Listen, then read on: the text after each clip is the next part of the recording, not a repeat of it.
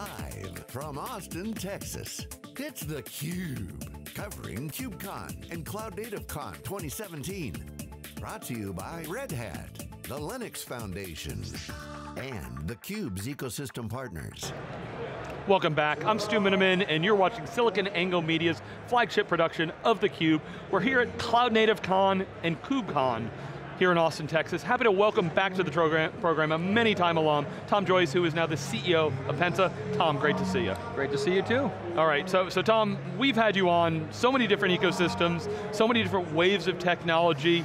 Talk about, you know, Pensa, how it fits into this whole cloud native space that we're looking at at this show. Okay, great, yeah, like you said, you and I, uh, we've known each other a long time. We've seen a lot of revolutions uh, in technology and you know, we're in the middle of a number of them right now, and at this event you've got the cloud native folks, and you've got the folks that are uh, tackling containers and Kubernetes orchestration, and uh, you know, it's interesting, this crowd here is so young and so creative, and the, the, last few days I was at the Gartner Data Center Infrastructure Show, and- Not so young there? Not so young, but the same problems, yeah. right? Two different communities trying to solve the same problems, which are, how do we deal with insane complexity how do we deal with a, an environment that's now not just you know, three public clouds and some hybrid clouds, but a growing list of specialty clouds, how do we manage all of that? And what Pensa is trying to do is be a part of solving that problem uh, using intelligent automation technology, uh, especially in managing the, the underlay complexity, the, um,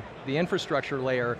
And it's kind of funny, um, we have gone through a period of time when the whole discussion has been, hey, containers are going to be a panacea, and yeah, infrastructure doesn't matter, and infrastructure is going away, and I think there, there is some truth to how that is evolving, but it, it, it, still matters, especially when you get down to having to deliver services yeah, to no, customers, no. right? Tom, first of all, I mean, Dan Kohn got on stage, you know, from the CNCF and he said, uh, it is exciting times for boring infrastructure. Yeah. That maybe, maybe too exciting. Yeah. I love that line because great. every wave comes out, it was like, Tom, you remember, virtualization, oh, I'm not going to have to worry about not things like networking and storage. And oh. it's been the biggest revolution and it's the biggest we wave of infrastructure a decade ever. fixing that. Yep. Containers came out, oh, once again, we're going to abstract it away, and it's going to take that. Yep. So what do you see as that role uh, between you know, the infrastructure layer and you know, that, that cloud native? What are the big challenges? What are your customers seeing? And, and how's Pensa helping to fix? Well, I think what yeah. we're seeing, in my opinion, is we're going from operations running everything to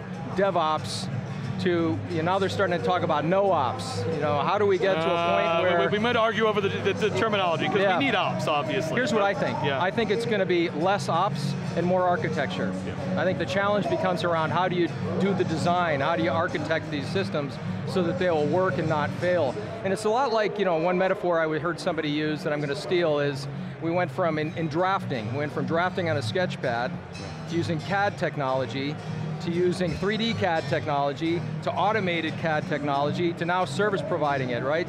And what happened? Everybody got smarter about architecture being the important part, not the actual physical plugging together. I think the role of the architect in a cloud native environment, in a Kubernetes environment, in a VM environment is frankly more important than ever. Somebody needs to know how the tools work to make sure that the service levels actually deliver. Um, you know, I have sat in a lot of these meetings where people say, look, just put your old app in a container and you don't have to, you can run it anywhere, it'll be fine. And it's just, somebody needs to think about the architecture and we want to provide intelligent technology that helps them do that, like AutoCAD and like some of these things that came along in that ecosystem. Yeah, well one of the things I've been poking at, you know, most of this year and coming into the show especially, is people say, oh, well it's too complicated.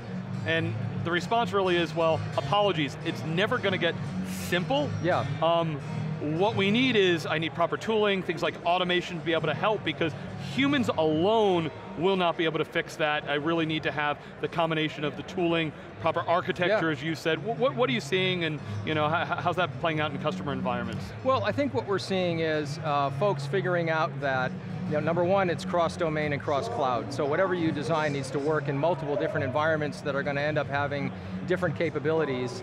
Um, and, and, and nobody really has deep expertise in everything about networking, everything about containers, everything about uh, compute and storage, but all those things still matter. So what folks are asking for is a layer of technology that kind of arbitrates between the underlying infrastructure and the upper level applications that they're actually trying to deliver, and that's where this automation layer that's emerging comes in, and part of that's orchestration, and part of it's what we do. And what we're focusing on is design, validate complex designs, build them and deploy them, uh, using tools that help people do that a lot faster and get it right every time, uh, so mistakes don't, don't, don't transpire. Yeah, Tom, I, I, I, want you to help explain to our audience, this whole SDN wave, kind of, it played out. And sure, you know, VMware NSX and Cisco ACI, they're doing okay, but for a lot of the industry, uh, SDN equals, equals still does nothing, um, yet networking, critically important, heavily involved in kind of the, both the container and all this cloud native discussion, why now is, you know, how are we fixing networking? How is it, you know, being set up for this type of uh, environment versus you know, what we were trying to do with SDN. Yeah, I think it's a good point. I think you've got SDN in the enterprise, and you also have uh, network functions virtualization in the service providers, and often overlooked that in the enterprise you're going through cloud native and DevOps transitions, and, and service providers going through a revolution of their own, from becoming, going from being telcos to becoming digital service providers. And uh, the problems are similar, the technologies are different. You know, I think what my observation is this, is the hype cycle's real. You know, we've gone through five years of talking about SDN, talking about OpenStack, talking about network functions virtualization, and all of a sudden now, uh, what I've seen in this job is that uh, there's real money getting spent and the technology's being used.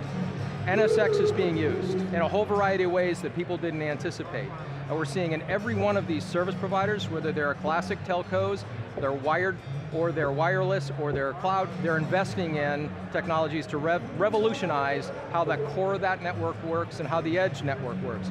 I think the first signs of that are really NSX and SD-WAN. SD-WAN has now gone mainstream because customers have seen that there's a real use case for it. That's kind of your first broadly applicable network function. And I think though the next couple of years, there will be one after another, those problems are going to get knocked down. And so frankly, in our business, we started focusing on a lot of these enterprise problems with NSX and you know, vSAN and software-defined data center technologies around VMware. We're working on containers, but frankly, the biggest area of growth for us is probably going to be these large service providers. You know, it's like a trillion dollar business and it's going to be revolutionized over five years. So we're getting involved in a lot of these network functions, virtualization conversations. And so yeah, I wouldn't say does nothing, it does a lot, but getting there, it's been a really hard technology to figure out. Yeah, uh, right, it's kind of, the, it, it, took a little bit while to mature. Uh, the other thing you, have got some strong background on, uh, look at kind of the, the, the manager, management and monitoring uh, in this type of environment. Um, what, what's new, how does that change in the networking space when we have it's all microservices and all these various pieces there? Um, you, you, know, what, what are you seeing there?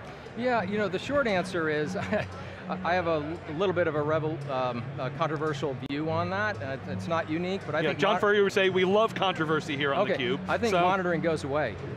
Monitoring the way it's been done for the last 30 years goes away. And I think, you know, when we had mainframes, we had client server, we had internet, and now we have the set of technologies we're working with in virtualization every time that transition has happened, there's been a whole bunch of monitoring companies, but I think classic monitoring is eventually going to go away. Ultimately, there is a lot of complexity, and the machine needs to manage it, right? The machine's going to need to manage it. So the eyeballs watching the problem and remediating it to a greater and greater extent are going to be automation technologies versus throwing up more and more alerts in front of a human that says, I'm just going to turn them off because I don't know what this means. So I think uh, automation technologies are going to replace classic monitoring. And, and again, you go around this event here, the folks that are doing cloud native, they don't want to have a bunch of monitoring alerts. They're not going to, they're not going to tolerate that. They just want to deliver an application service. They don't want to deal with operations, they don't want to deal with monitoring, they don't want to deal with problems, they want the problems to take care of themselves. That's hard, but I think that's coming. Yeah, uh, Tom, uh, you know, the end users, whether it be enterprise, service providers, there's a lot of technology out there, there's a lot of things uh, happening out there.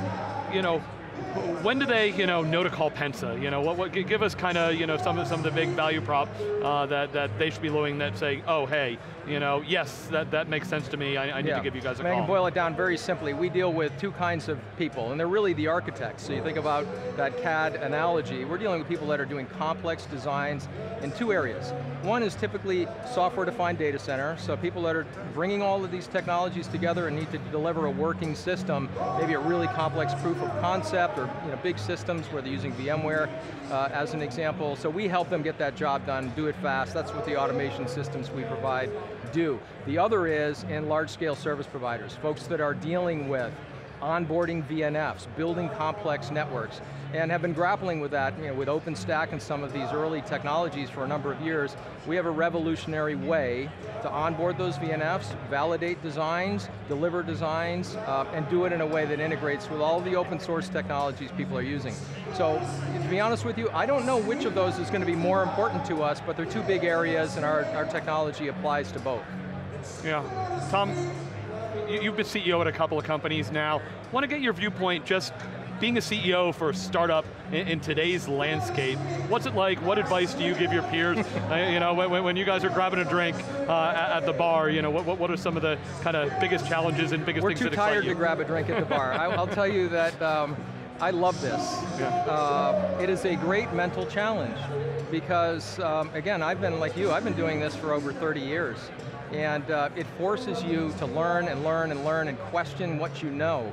And uh, that's why I really like the opportunity to engage with um, the leading edge of technology. You know, frankly, all the folks here uh, are young and creative, and it's forced me to become better at what I do. There are a lot more unknowns than working for a big company. With a big company, a lot of what you have to do is laid out before you. In this job, I have to constantly force myself to question what I know, to listen to the customer, uh, to learn new things, and you know, it can be tiring, but it's, you know, it's a good kind of tiring. All right, last question I have for you. What are you most proud, what you've done since you've joined Pensa, and give us a little bit of outlook 2018 for those that watching. What should we be looking for, kind of milestone deliverables or, or, or other uh, items? Yeah, you know, I think uh, what I'm most proud of is, I mean, this sounds like a, a you know, a, a, silly statement, but I'm, I'm proud of what the team has accomplished. Uh, I didn't do anything, right? I don't write the code. Uh, we have uh, a bunch of engineers uh, that are actually delivering, uh, delivering the product. I think we've been really uh, fortunate to keep all those people and get them focused on some big problems. Um, you know, I'm proud of delivering Pensa Lab to market. I'm proud of the customers we've signed up since we launched that just at the beginning of October. Uh, I'm proud of what we're doing with Nokia on large scale networking uh, in the NFV area. And uh, frankly, I'm proud of the, the ability of this team to, to constantly um, engage and learn and try new things and take risks and screw up and try again. So, you know, it's that whole experience. You know, it's, it's good to work with good people that you like. All right, in 2018? Yeah, 2018 I think is going to be um, surprising for, to people in terms of kind of the re-emergence of OpenStack. I think OpenStack is coming back. D don't let them hear that, Tom. I know. The, wolves will come out. it, why? Well, because I think it's reaching at a point where um, the economics of certain kinds of cloud models and frankly the economics of, uh, of VMware are forcing people to reconsider, but it's especially around digital service providers.